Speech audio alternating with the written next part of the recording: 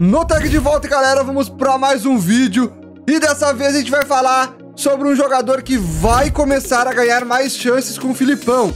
Isso mesmo, o técnico Luiz Felipe Scolari já está de olho aí no grupo de transição do Grêmio. Também uh, estava assistindo ontem o treino, né, dos jogadores do Sub-21. E o Jonathan Robert é esse jogador. Eu vou mostrar aí o lance do gol de pênalti que ele fez ontem no jogo contra o Corinthians, que foi 1 a 1 pelo Brasileirão de Aspirantes, e falar minha opinião sobre o jogador.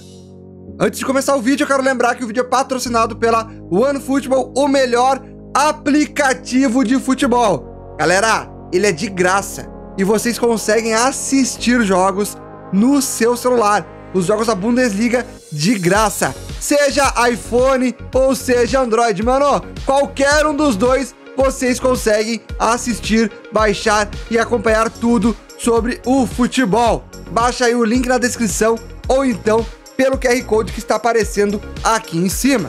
Vamos lá então, gurizada. Vai estar aparecendo na tela aí para vocês o gol de pênalti de Jonathan Robert, que é o jogador que já veio do, do Famalicão, né? Lá de Portugal uh, neste ano. Teve algumas oportunidades. Eu, particularmente, gostei de quando eu vi ele jogando ali pelas pontas. Já não curti tanto ele jogando como meia, mas ele jogou acho que uma ou duas partidas uh, me, de meia mesmo, né? Então, cara, eu queria ver mais do Jonathan Robert e o Filipão uh, con concluiu, né, que ele é um jogador muito importante, concluiu que é um jogador que, que pode agregar muito valor pro time do Grêmio. Eu, na minha opinião, cara, ele é melhor que o Luiz Fernando, ele é melhor que o Alisson, ele é melhor também que o Léo Pereira, é melhor que o Gui Azevedo que saiu. O Léo Chu, cara, eu tinha. Quando, quando tava o Léo Chu, que eu gosto, gostava muito do Léo Chu também. Eu ainda acreditava que o Jonathan Robert poderia entregar mais do que entregar, no caso, entregar mais habilidade, né? Entregar mais jogadas, se entregar mais ao jogo do que o Léo Chu, mesmo eu gostando muito do Léo Chu. Ah, tem gente que vai ser os defensores do Alisson e tudo mais. Cara, o Alisson é aquela coisa, é o cara ciscador. Ele não bate bem na bola, velho. O atacante que não bate, que não é objetivo, que não vai para cima, que não vence jogo. Mano, isso aí não me serve, cara. Isso aí pode pegar, pode jogar na várzea pra mim. Pode jogar na várzea, meu irmão. Eu quero um jogador que bate bem na bola, que seja objetivo e faça gol. É isso aí, atacante é para isso, meu irmão. Atacante é para isso. E o Jonathan Robert é esse cara, velho.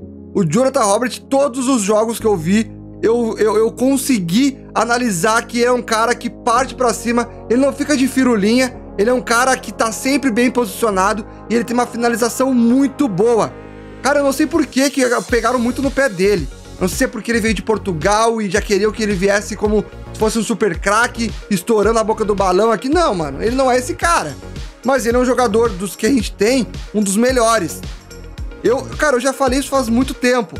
E agora que tem essa notícia que o Filipão vai começar a dar chances para ele, eu tô muito feliz. Eu tô muito feliz. Outro jogador que eu queria muito ver, e que, pode ser que o Filipão dê mais chances também, é o próprio Elias Manuel. Elias Manuel tá jogando demais, irmão. Ele, ele jogou demais quando entrou na Sul-Americana.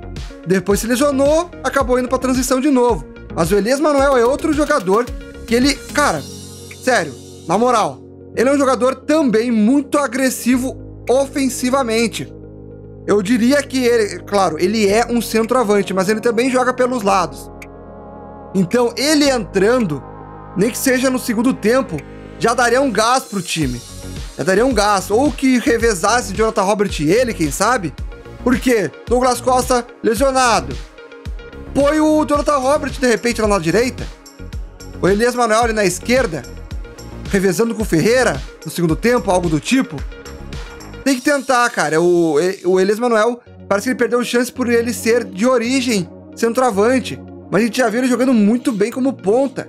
Eu, eu sempre comparo ele com o jogador Romero Lukaku. Cara, o Lukaku e o Elias Manuel se parecem muito. Tem gente que vai, vai rir de mim. Ah, meu Deus do céu, como assim tu compara com o Lukaku?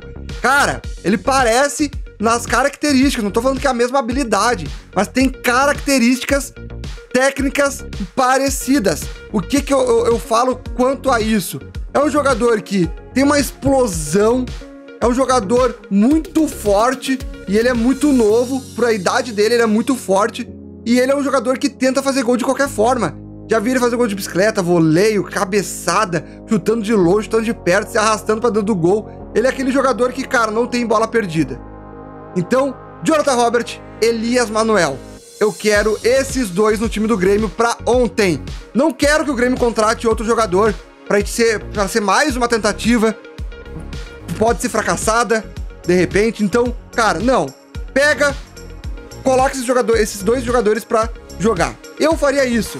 Eu faria isso. Não tentaria agora investir em alguém para ver se vai dar certo no Grêmio e tentar investir, investir errado. É tentar Jonathan Robert e tentar Elias Manuel. Se o Filipão seguir isso aí, cara, eu tenho certeza que a gente consegue sair desse buraco.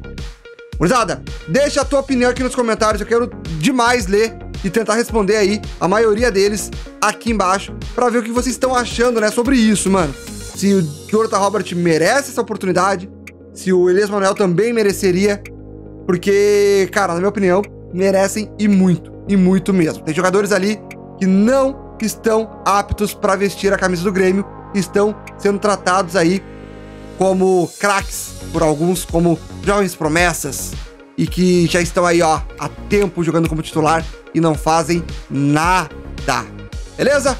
Valeu? Deixa teu likezão, te inscreve no canal para não perder os próximos vídeos. Eu sei, é difícil, né, cara? É difícil não ter Grêmio para assistir.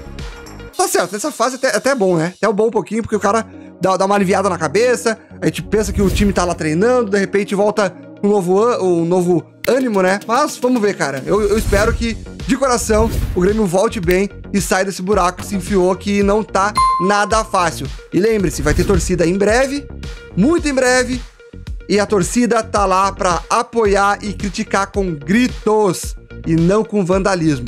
Valeu, abraço, fui!